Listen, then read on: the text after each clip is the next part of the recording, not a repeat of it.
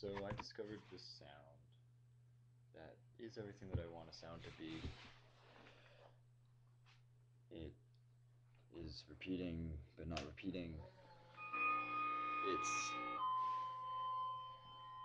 It changes enough to be interesting.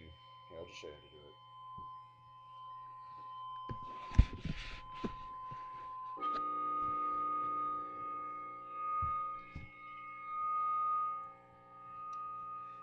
I've just always wanted to make music that self generates, remains interesting, and and I don't have to touch. So I've got a pitch shifter on here and a um,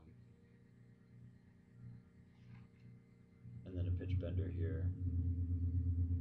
I'm just gonna bring it down about a step.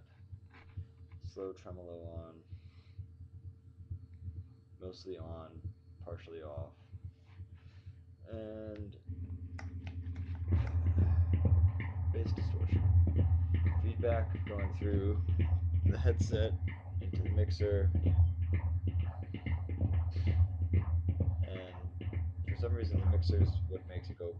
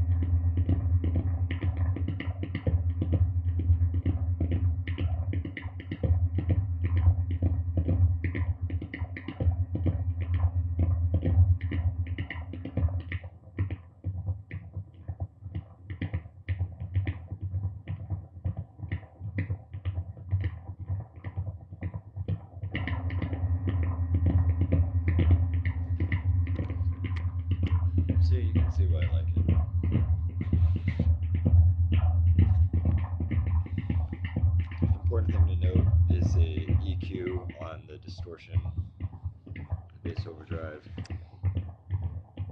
Right over here. There you go. Uh. Having the low right where it's at there. See if I can get a hand in. Too much and it just overpowers it. Too little and there's not enough squelch. It's a little bit more when the uh, tremolo kicks back in. So this is a nice approach into it. If you ever wanted to play this live, is over the course of half an hour or so, slowly bring up the lows. It's not going to make as much difference when the tremolo is off. When the light comes back on, noticeably more clicking. Start with nothing. Shit. Where does it kick in? Around there. There's probably a couple in there. Let's get that back on.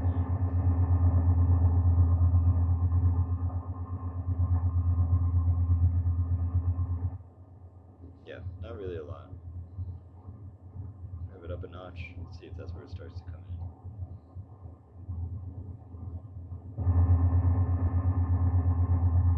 in. You hear that beat back there.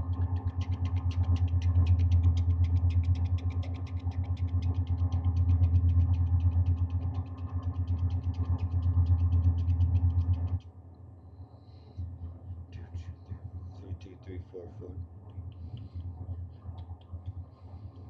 One, two, three, four.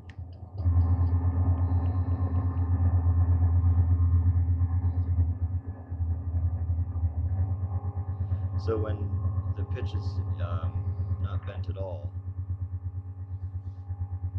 you don't get very much clicking. If we have this low pitch all the way down, though, we get some heavy clicking. It'll kick back in in a second.